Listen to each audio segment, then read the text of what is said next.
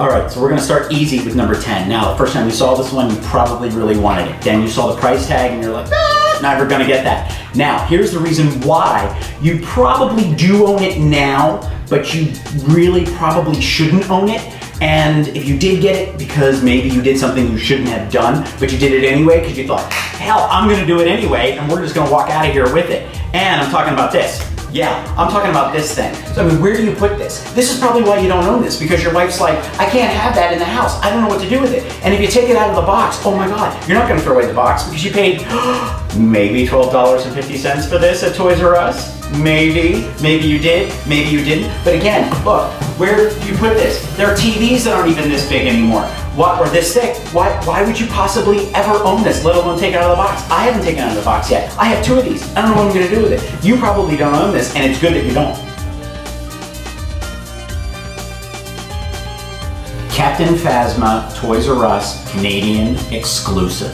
Yes, that's right. If you thought, what is this figure? It appeared on the internet just a couple weeks ago and you weren't really sure if it was a crazy custom that someone else had done, but really, Toys R Us in Canada got the exclusive. Now this figure is one of those weird things that you're probably not going to own because the Disney store is going to cover the exclusive version of it for here in the States. However, if you're obsessed like we are here, you're gonna want both versions, one with the Precious Toys R Us sticker and one without.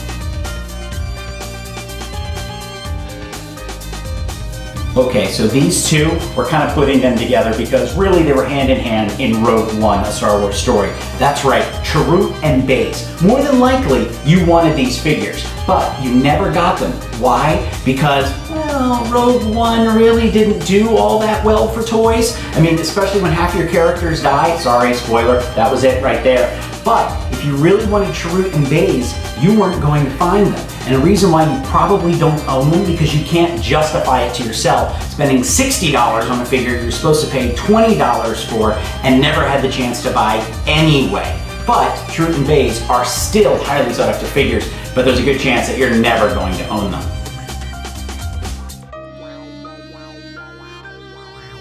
The Luke Skywalker X-Wing Pilot 40th Anniversary Black Series figure. Yes, you know why you probably don't own this figure? Because you bought it when it originally came out, when they launched the Black Series figure. So naturally, in your mind, you already have this figure, but yet you want him on the 40th anniversary package. Well, the issue was they did a special version of him that they only put at Star Wars Celebration Orlando, and they sort of released at Comic-Con. So you're probably not going to own him because he's so expensive, but you already have the figure. And Catch 22 Hasbro is re-releasing the figure at the beginning of 2019 in the now archive collection.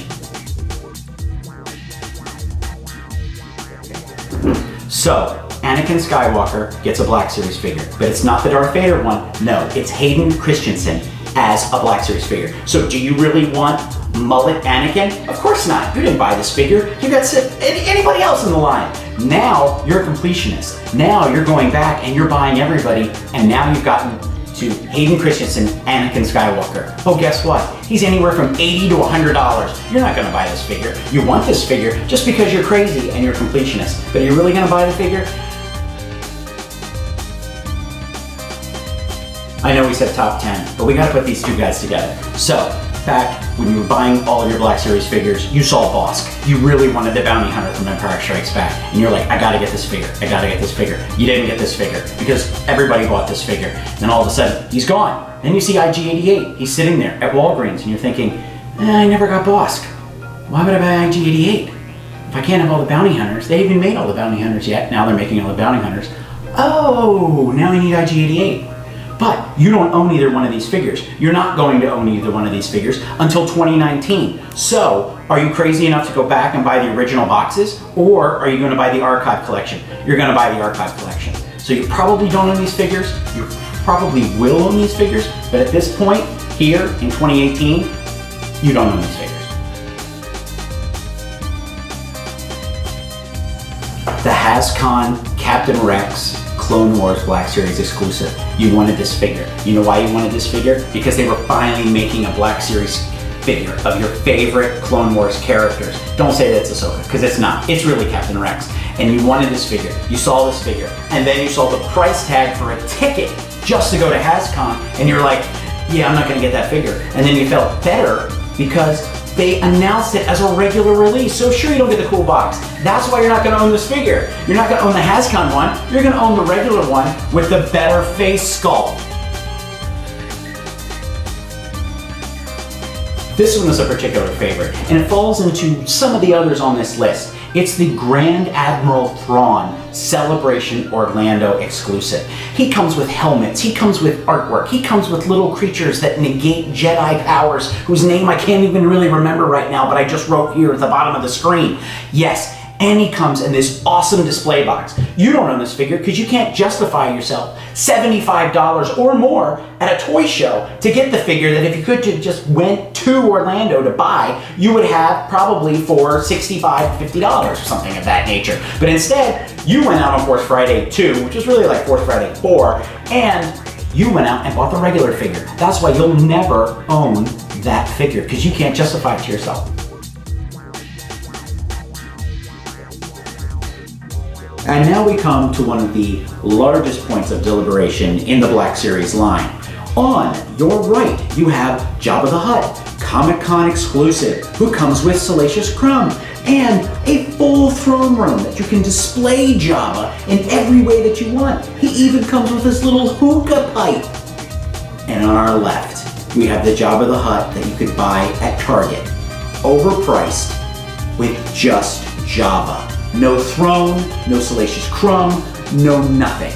So this is as if you're comparing the end of Return of the Jedi with the regular edition on your left or the special edition on your right.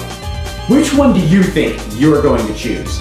And again, it's something that we cannot have because we're stuck with the one on our right.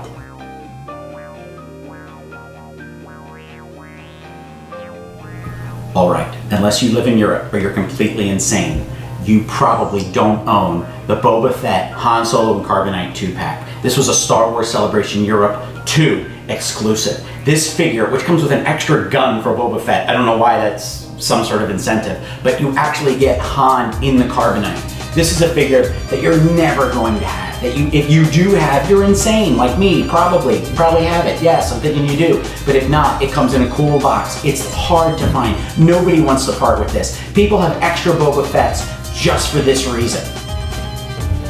All right, thank you for tuning in. Uh, this was Action Figure Junkies, the top 10 Black Series figures you don't own and for good reason. So as you can see, we've got some new figures coming up. We're definitely going to be reviewing the exclusive uh, Canadian Toys R Us uh, Stormtrooper and probably the Captain Phasma if I have the heart to actually open her.